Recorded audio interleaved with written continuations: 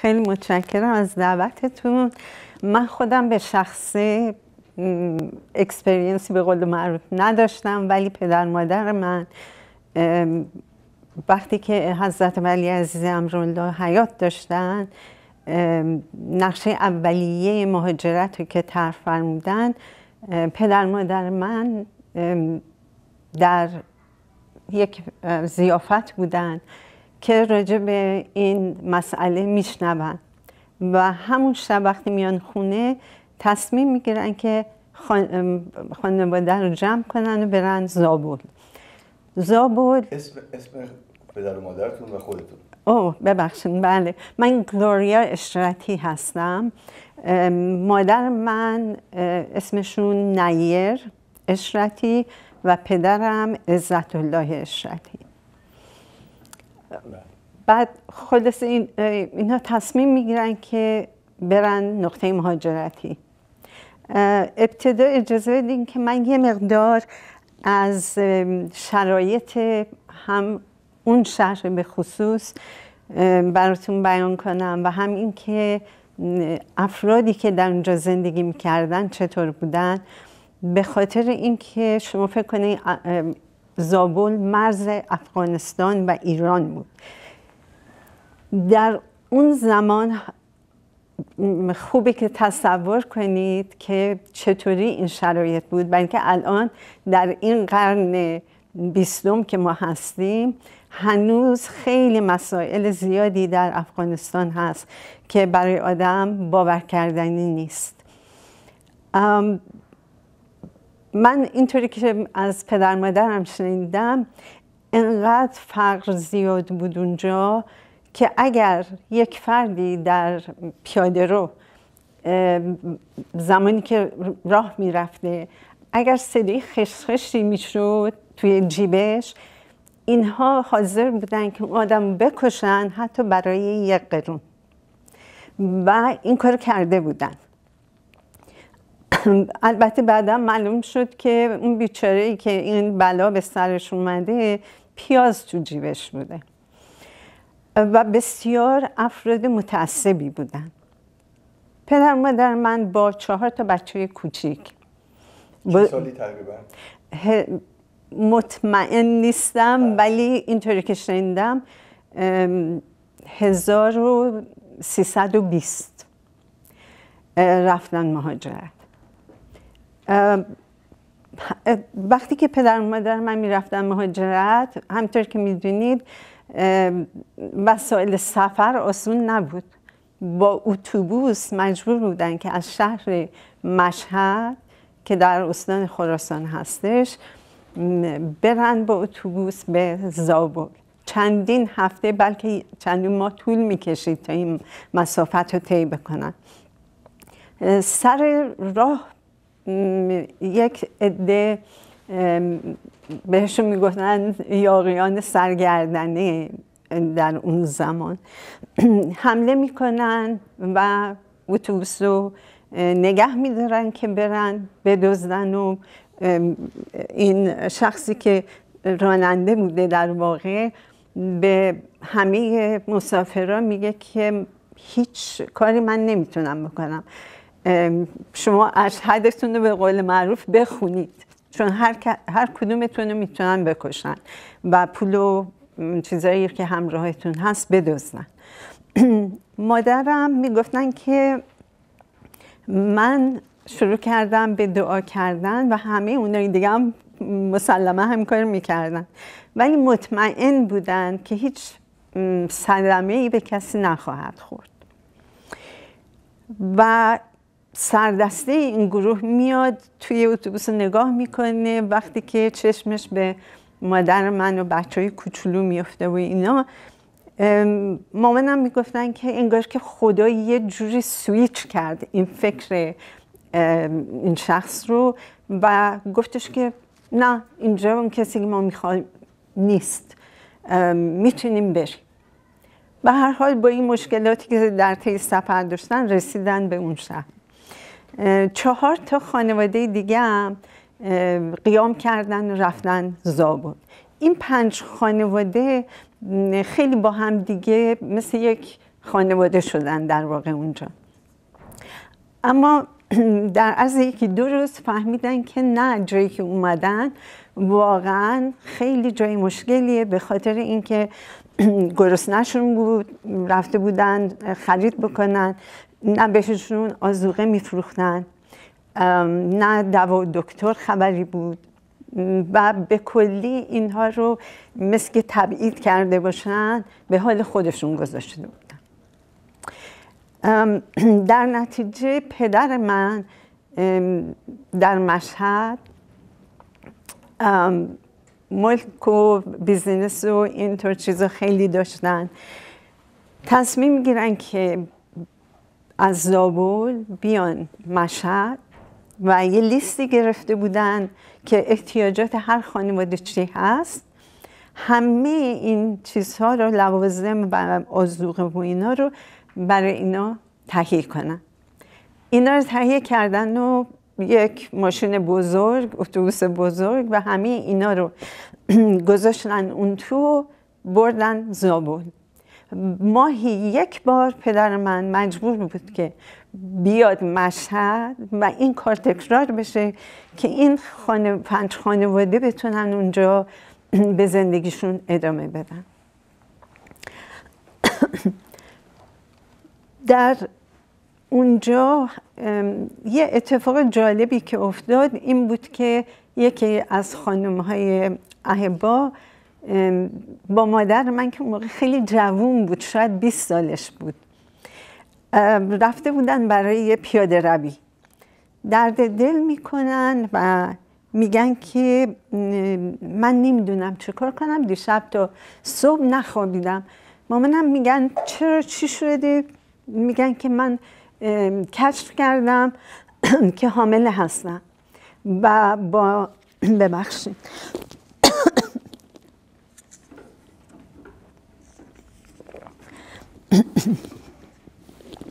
با نداشتن دکتر و دوا و پرستار نمی‌دونم چه به سر من بچم خواهد اومد.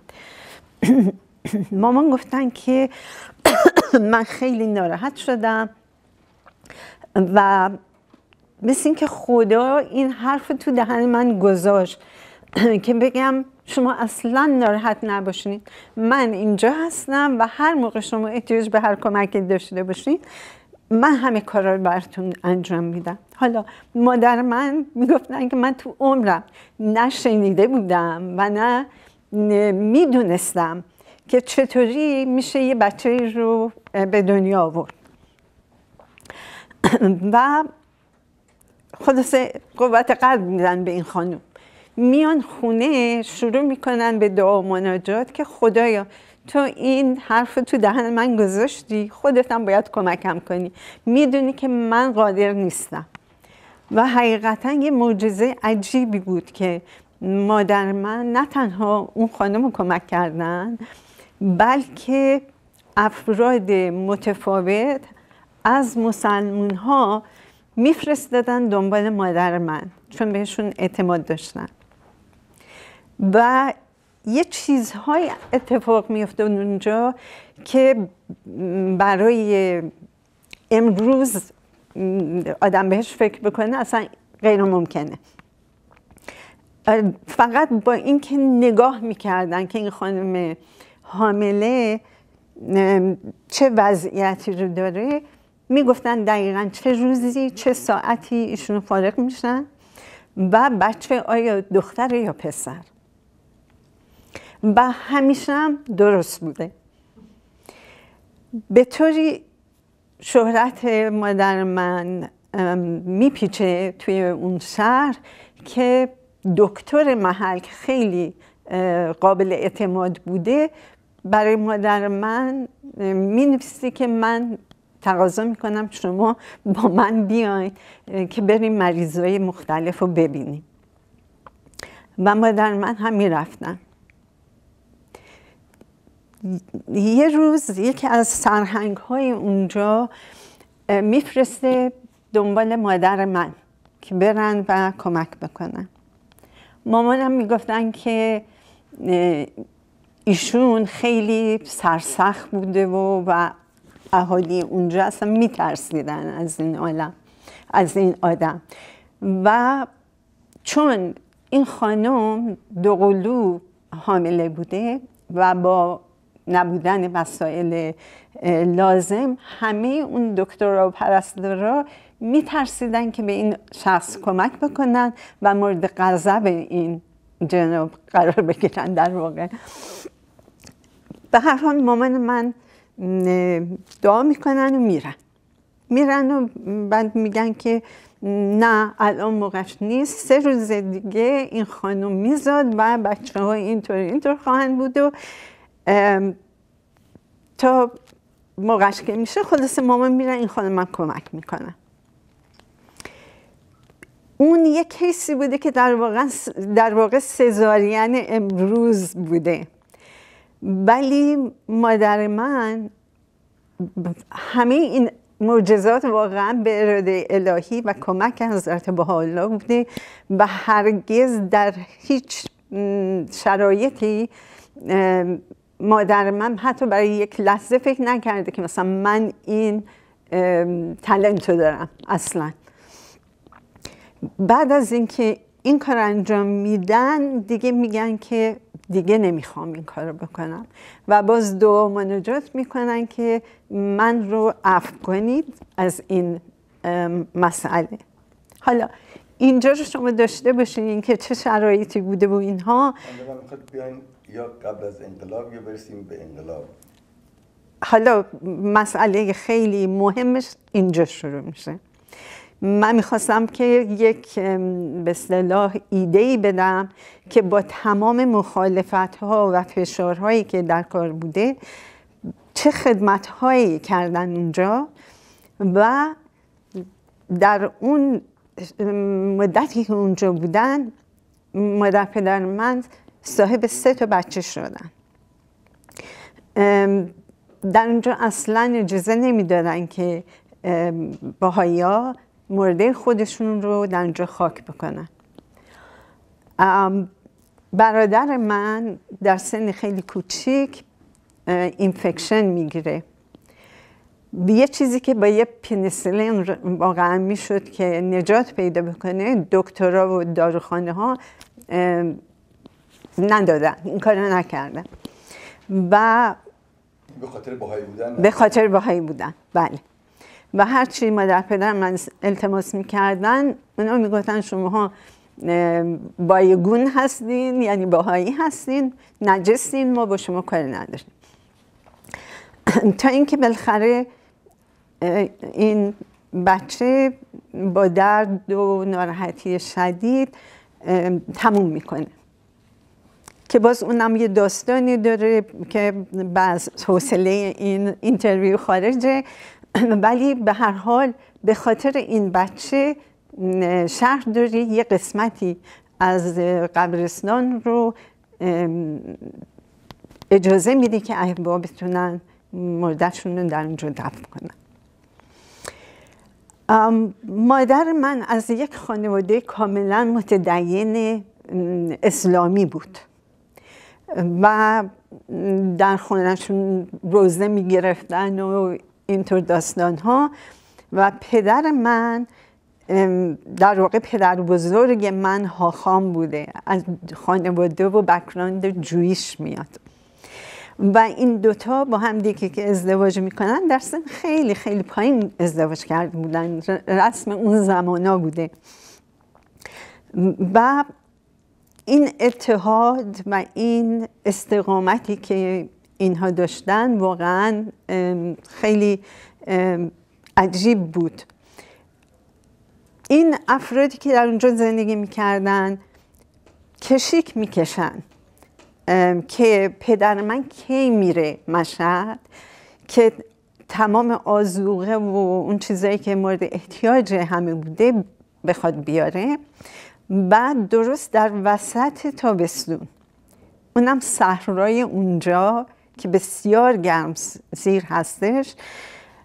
چند روزم بوده که بارون نیامده بوده در, در واقع اون خارخونه ای که اونها داشتن یعنی چوبش کاملا خشک بوده. اینها قبلا نقشه کشیده بودن و می‌خواستن که تمام افراد خانواده من رو در همون شب که پدرم وارد میشه همه رو بکشن. خوشبختانه پدر مادر من و خواهر برادرام چون تا بسون بوده توی حیات میخوابن. و نصف شب اینها خونه رو آتش می‌زنن. که تمام آنچه که داشتن و نداشتن میسوزه خونه میاد پایین و همه چیز تبدیل به خاکستر میشه. بعد نزدیکای صبح که میشه مادر پدرم و بچه ها همه با لباس خواب بودن. خبر میدن که به احبای دیگه که چه اتفاقی افتاده. چه سالی بودین؟ همون همون سالایی که مثلا چهار پنج سال بعد از 1320 اینطوریه خبر میدن خلاص اونا لباس میارن که اینا بتونن بپوشن که پدر من بتونه به شهرداری و گزارش بده. البته شهرداری هم ظاهرا ابراز تاسف می‌کنه ولی اینا بعدا می‌فهمن که اینا همشون کوردینیت می‌کردن که کی چجور این کار رو انجام بدن. و تمام اهالی شهر در حدود ظهر دور خرابه های خونه جمع میشن و خوشحال بودن که همه چیزی از بین رفته. و تعجب می‌کردن که چطور اینا زنده موندن. بعد می‌بینن که مادر پدر من با این چند تا خانواده باهایی همه نشستن دارن نهار می‌خورن میگن میخندن و به موزیک گوش میدن. یه خانمی که اونجا داده بوده میاد میگه که باید تو دیوانه باشی. مادر من میگه چرا؟ میگه که تا تمام زندگی تو از دست دادی. حالا داری میگی میخندی موزیک گوش میدی. مادر منم میگه که بچه ما از دست دادم. البته مادر پدر من سه تا بچه در زابل از دست دادن. هم هم کوچیک. و فامیل مادری من خانوادهشون به خصوص به مادر من گفته بودن که چون تو رفتی باهایی شدی خدا سزایی تو رو اینطوری داده. مادر منم بر میگردن به این خانم میگن که بچه های من که رفتن. زندگی منم رفته. اگر خدا بخواد که بچه های دیگه منم ببره فدای سرش ببره.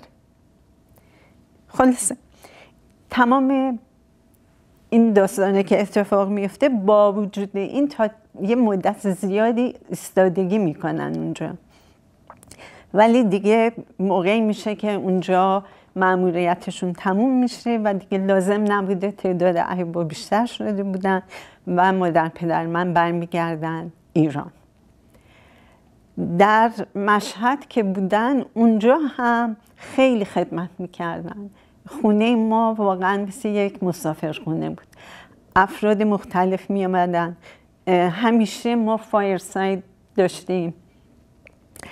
و خیلی از ادیان مختلف می آمدن خونه ما صحبت می کردن کشیشا می آمدن آخوندهای مختلف می آمدن اینها.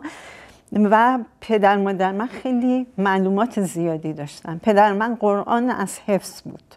من یادمه که هر وقت دلایلی رو می آوردن اگر که طرف مسلمون بود آیه های قرآن رو براشون مثال می زدن. برای اثبات حقانیت حضرت بهاءالله. خلاصه اونجا هم خیلی اون شهر مذهبی مشهد هم خیلی سختی ها کشیدن و حتی بچه ها برای مدرسه که می‌رفتن چقدر اذیتشون می‌کردن همیشه در اقلیت بودن همه اینها رو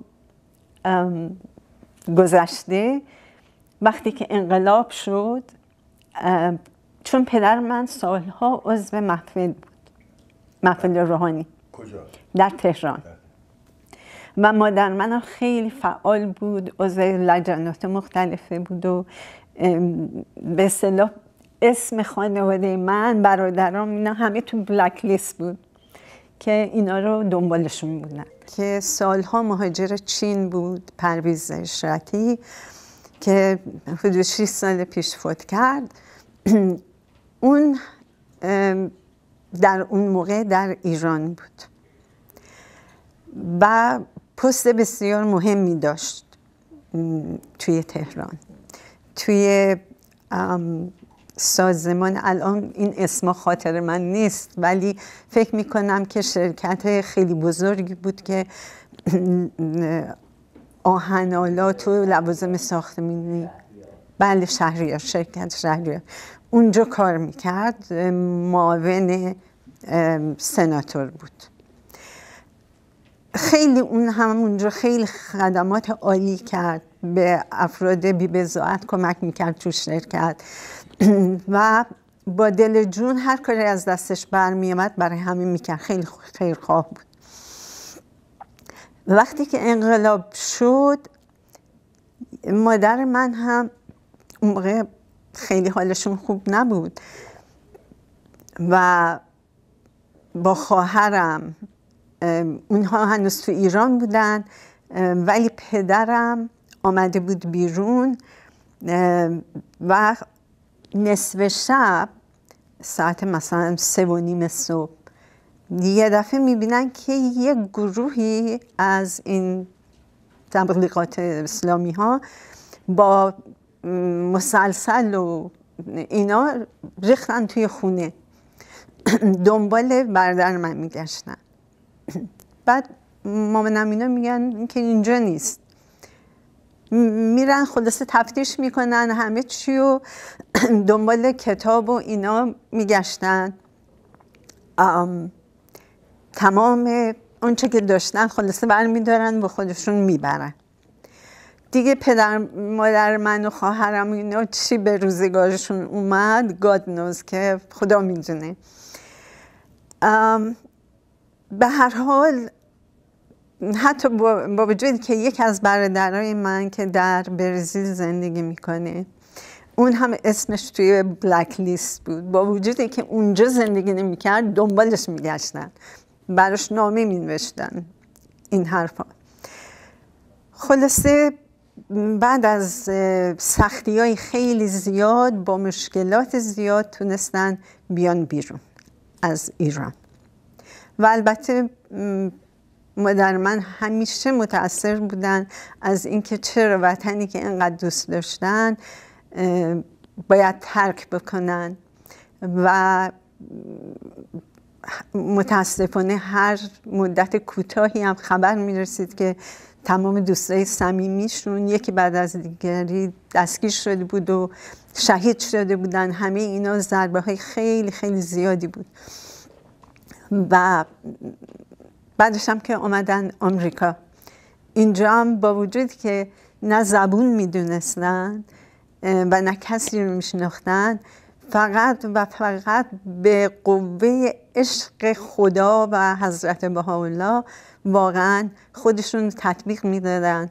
در جلساتی که می‌رفتیم یک کلام متوجه نمی‌شدن ولی همیشه با لبخند میچستن و گوش می‌کردن و به همه محبت می‌کردن. تمام این همسایه های ما مامان من با زبان بی زبونی که به اینا محبت می‌کرد واقعا عاشقانه دور بر مادر من میچرخیدن می‌گفتن.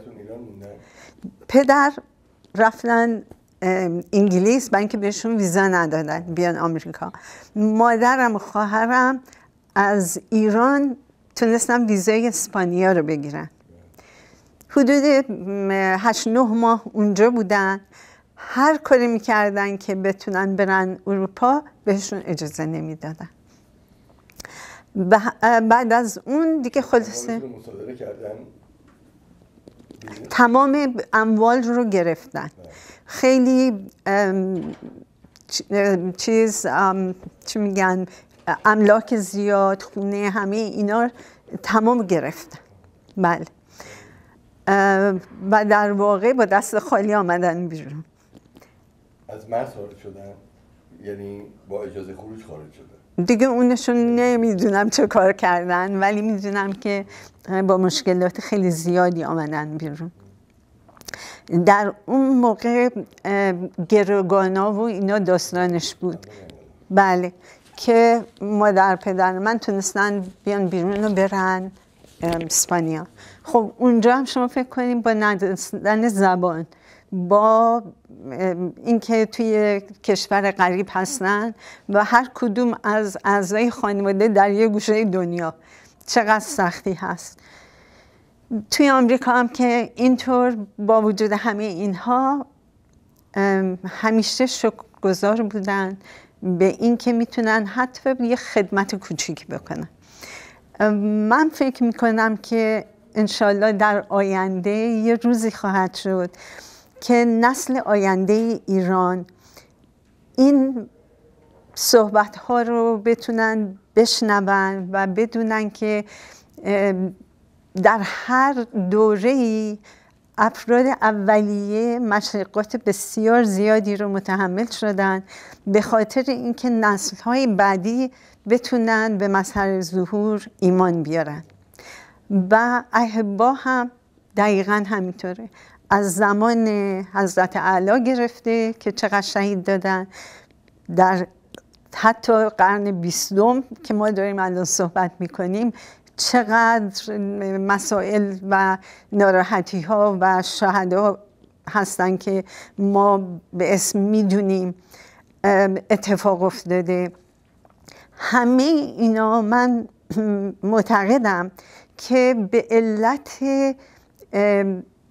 نادونی هستش. به خاطر اینکه رؤسای گروه همیشه می‌خوان که موقعیت خودشون رو حفظ کنن و کمتر راجع به حقایق روحانی صحبت می‌کنن. بنابراین این افرادی که این کارها ازشون سر می‌زنه البته در نادانی مطلقه ولی امیدوارم که نسل آینده ایران به خصوص که ما معتقدیم ایران عروس جهان خواهد شد به خاطر اینکه متن حضرت بهاءالله است بتونن یک روشی رو انتخاب کنن که انشالله هرچه زودتر جبران این کارها بشه و کشور عزیز ما بتونه به زودی عروس جهان بشه.